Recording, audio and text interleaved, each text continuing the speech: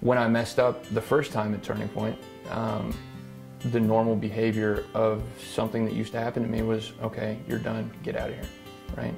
And they gave me a second chance. Um, and that's really all I needed. In recovery, we keep in mind safety and that we keep in mind emotional safety so people feel like they can connect. And I think when people connect, um, I think they feel grateful. And I think when an alcoholic feels grateful, I don't think they want to drink. And I think when they don't want to drink, they want to be of service. When they want to be of service, they don't isolate. When they don't isolate, they don't want to die.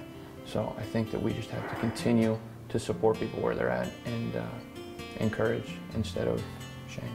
I believe in Turning Point. I believed in Turning Point since I got out. Um,